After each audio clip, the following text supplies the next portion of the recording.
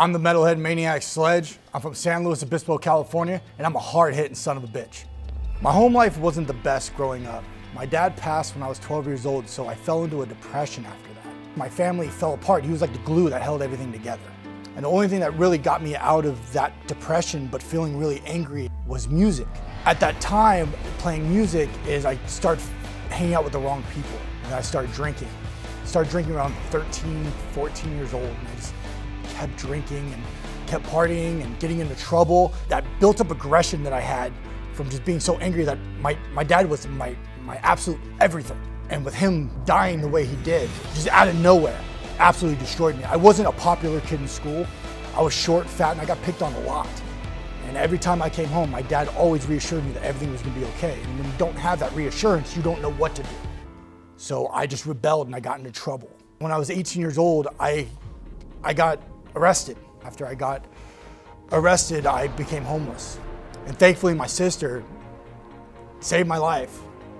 You know, I still had that chip on my shoulder that no one could tell me anything better and just wanting to lash out at the world.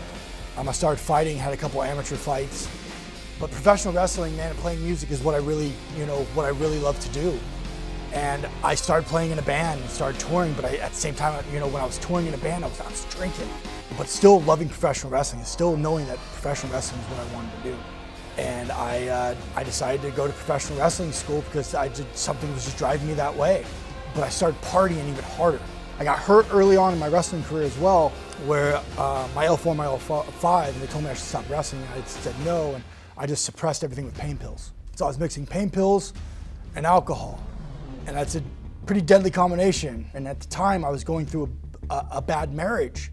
And when you have your, your wife leaving with your newborn, you don't really have a purpose to live anymore. I'm not supposed to be in this chair right now. I'm not supposed to be here at Ring of Honor. I'm supposed to be dead in some kind of gutter. I, I dumped all the alcohol down, down, down the drain. I dumped all the pills down the drain, and I detoxed.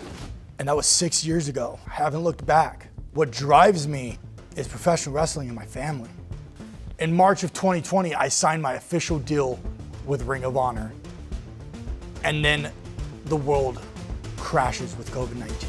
Here I am, accomplished the goal, got my contract at Ring of Honor, and then the world shuts down. After just waiting and waiting and waiting by the phone, waiting for the phone call, I got it. And I'm facing somebody that I know extremely well from the Ring of Honor dojo, and that's you, O'Shay. Two big guys on the collision course.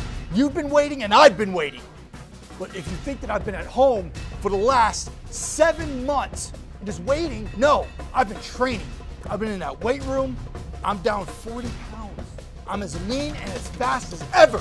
I've defeated every single demon in my life. And there's no doubt that I'm going to defeat you